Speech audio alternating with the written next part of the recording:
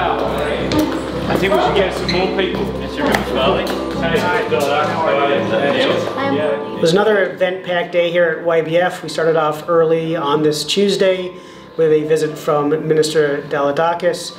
Uh, the minister spent time on all three of our floors here talking to some of our members and then talking to a broader audience. We started off with Loki on level four.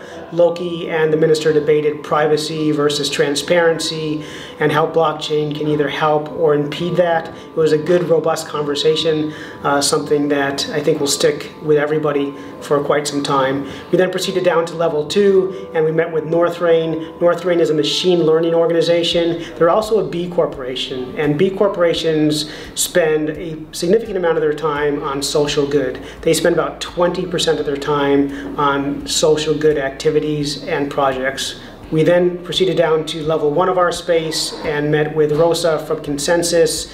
Uh, the discussion really focused on women in blockchain and around female founders, which is something that we are so uh, enthusiastic about and something that we're focused on for the future.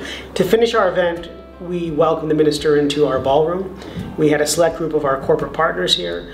We had uh, members from across the community, and the minister addressed the crowd talking about innovation, talking about government's role in innovation, and talking about how YBF is both a catalyst for innovation and also an ongoing facilitator of bringing smart people together to create community, to create commerce, and to create jobs. It was a great, great day with the minister, and we look forward to welcoming him back again.